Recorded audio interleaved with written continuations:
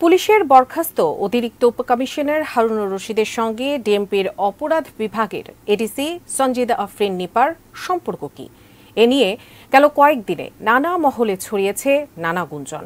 বিশেষ করে সামাজিক মাধ্যমে চলছে আলোচনা, সমালোচনা। অনেকেই বলছেন এডিসি হারুন ও এডিসি সঞ্জিদার বিয়ে হয়েছে। হারুন সঞ্জিদা বিয়ে করেছেন কিনা জানালেন সঞ্জিদার বোন। বিস্তারিত থাকছে প্রতিবেদনে। থানায় আটকে রেখে ছাত্রলীগের দুই কেন্দ্রীয় নেতাকে নির্যাতনের ঘটনায় চলছে নানা আলোচনা, সমালোচনা। এরই মধ্যে এই ঘটনায় পুলিশের বরখাস্ত অতিরিক্ত উপকমিশনার হারুনার রশিদের সঙ্গে ডিএমপির অপরাধ বিভাগের অতিরিক্ত উপকমিশনার সঞ্জিদা আফরিন নিপার বিয়ে হয়েছে কিনা তা নিয়েও সামাজিক যোগাযোগ মাধ্যমে চলছে পাল্টাপাল্টি বক্তব্য। হারুন সানজিদার বিয়ে হয়েছে কিনা সে বিষয়ে বৃহস্পতিবার দুপুরে গণমাধ্যমে কথা বলেছেন সানজিদার বড় বোন হোসনে আরা কামনা। বিয়ে নিয়ে সামাজিক যোগাযোগ মাধ্যমে ছড়িয়ে পড়া অপপ্রচারে তারা বিব্রত বোধ করছেন উল্লেখ করে তিনি বলেছেন, তাদের মধ্যে বিয়ে হয়নি। যেহেতু বিয়ে হয়নি, তাই ছাড়াছাড়িরও প্রশ্নই ওঠে না।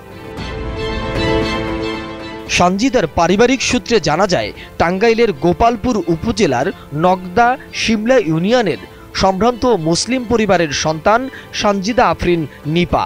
তার বাবা মোহাম্মদ হোসেন আলী বার্ধক্যজনিত কারণে গত বছর মারা যান।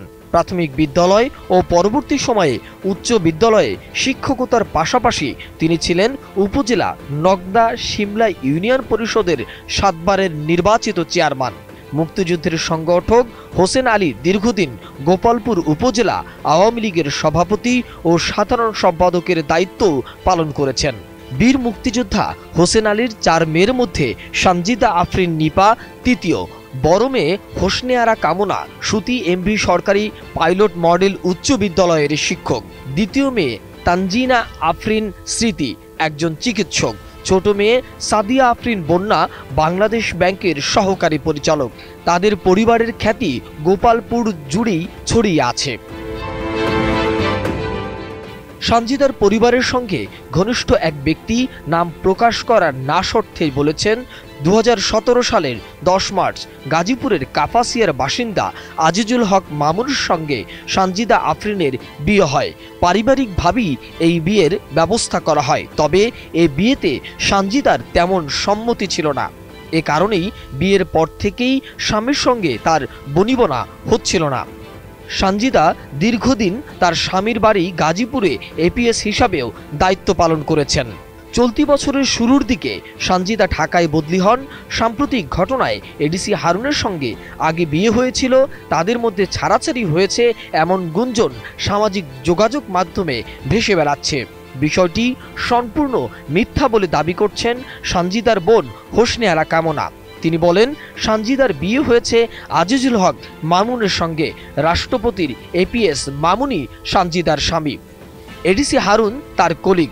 তার সঙ্গে সানজিদার বিয়ে হয়নি। বিয়ে না হলে ছাড়াছাড়ির প্রশ্নই ওঠে না।